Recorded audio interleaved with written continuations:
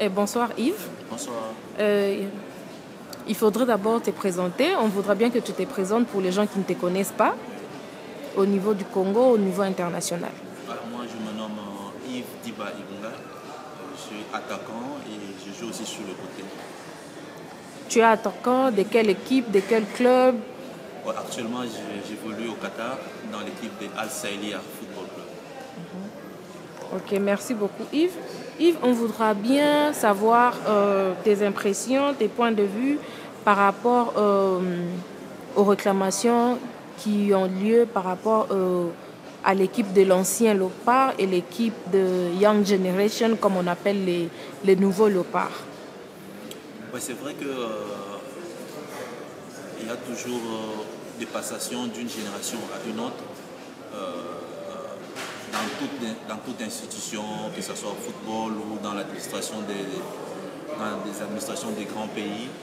Et euh, c'est la chose qui est en train d'être faite au sein, de, notre équipe nationale. Il y a une ancienne génération qui, est, en partance et une nouvelle qui, est en train de, venir.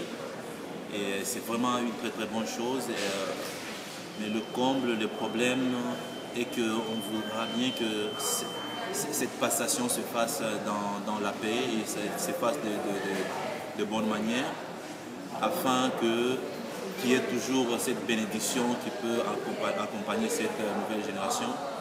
Et sur cela, je voudrais bien euh, éclairer un peu le peuple congolais par, euh, par rapport à tout ce qu'il y a eu comme, comme incident passé.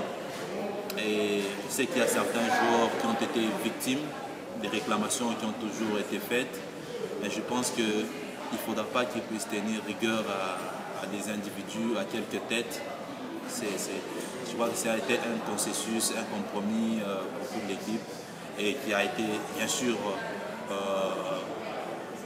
qui a été ma- mal, fait, mal fait et c'est c'est pas vraiment un bon exemple à léguer à, à la nouvelle génération. Voilà pourquoi euh, on travaille dessus. euh, la nouvelle génération a bien sûr euh, le rôle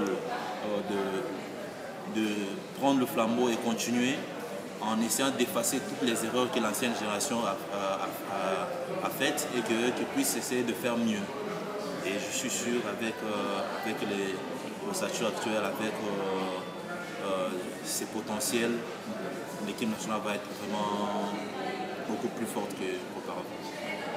Ok, merci beaucoup Yves. Alors, euh, tu voudras bien aussi nous donner des éclaircissements sur les, les championnats auxquels vous évoluez, les championnats de Qatar. Parce que la majorité des gens disent que les championnats, les championnats de Qatar, c'est un championnat mort. Si hein, tu peux nous éclaircir sur cela. Ah, merci d'abord pour euh, cette, euh, cette, euh, cette question. Moi, je pense que euh,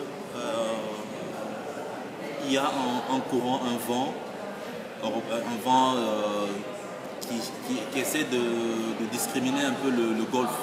Certes, le golf a, a ses points né- négatifs, c'est le manque de professionnalisme de certains joueurs lo- locaux. C'est là le, point négatif du golf. Mais le golf n'est pas un championnat, ce n'est pas, pas un, un- un championnat mort. N'est pas un championnat mort. Vous pouvez le voir, il y a des, grands joueurs qui évoluent ici. il y a comme les Jires Kembo, la Samoa Giant, il y a les Néné, il y a Lisandro Lopez. Il y a beaucoup, beaucoup, euh, beaucoup, beaucoup de grands joueurs et des grands entraîneurs. Le football, qu'est-ce qui fait le football? C'est des grands joueurs, c'est des, grands entraîneurs et surtout, surtout la première des choses, c'est des infrastructures.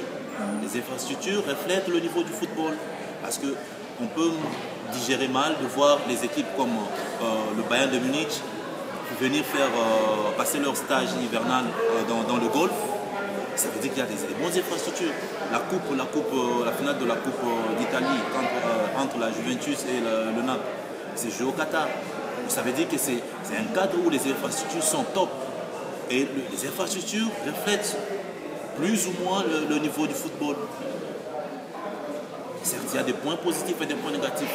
Le point positif, c'est que le football, c'est pas euh, donc, ré- donc d'une région à une autre. Le football, c'est c'est d'abord sur le plan individuel. Si une place où il y a d'abord des bons joueurs, il y a des bons entraîneurs, il y a des belles infrastructures, ça dit qu'il y a du football. Ok, merci pour cela. Et on voudrait aussi avoir tes impressions par rapport à l'évolution de, de jeunes binationaux qui ont intégré euh, l'équipe nationale. Ouais, je suis vraiment très content.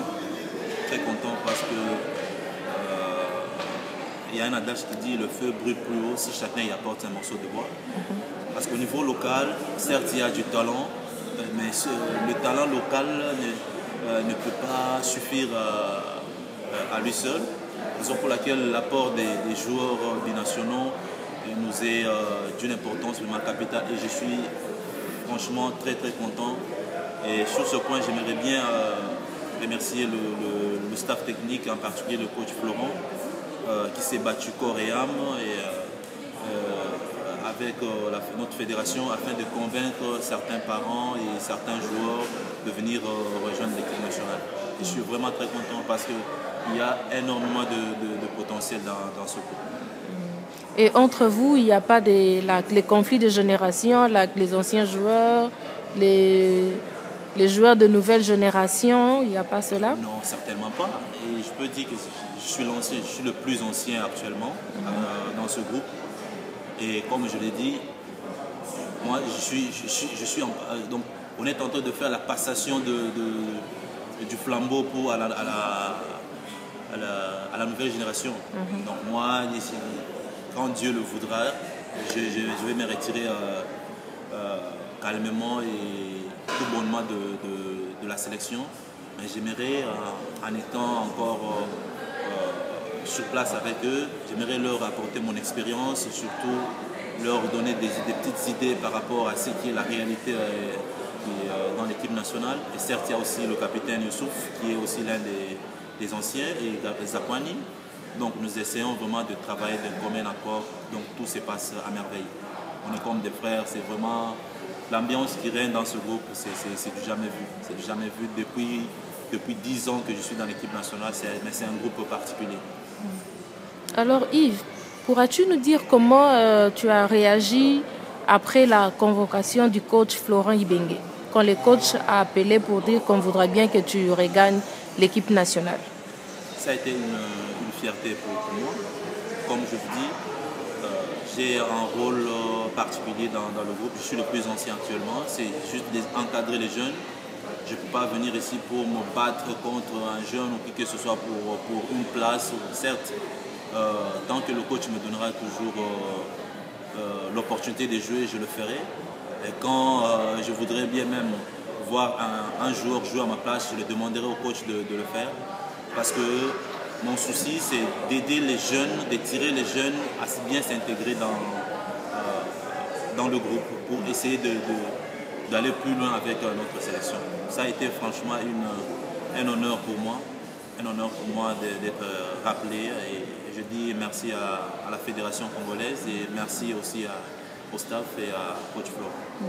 Yves, on veut savoir sur le jugement de ta propre, tes propres, disons, prestations. On sait que tu joues bien, tu évolues bien au Qatar par rapport à ton club, on a les news et tout. Et on voudra aussi savoir, est-ce que l'Europe t'intéresse, les clubs européens, ou y a-t-il quelques clubs européens qui t'ont déjà intéressé et quelles ont été tes réactions? Oui, bien sûr, chaque année, euh, j'ai toujours eu des, des propositions euh, qui sont en Turquie, en Belgique, euh, partout, chaque année. Chaque année. J'ai même des propositions de contrats de la Russie, de, la Belgique. Euh. Mais vous savez, quand tu es déjà rentré dans, dans un dans un circuit, dans un, dans tu es déjà adapté à un, à un, environnement, où tu te sens bien, où ta famille s'épanouit bien, je pense que on ne peut pas prendre euh, ou s'hasarder ou prendre ce risque d'aller dans un autre championnat qui était euh, euh, qui était qui n'était pas familier quoi. Qui pas familier. Et certes c'est des décisions à ne, pas prendre seul.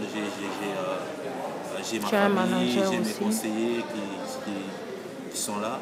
Et je pense qu'à mon âge je ne peux pas prendre ce risque. Comme si je me sens mieux comme je me sens mieux ici au Qatar, et je connais bien le championnat je peux tout bonnement faire ma carrière et finir ici.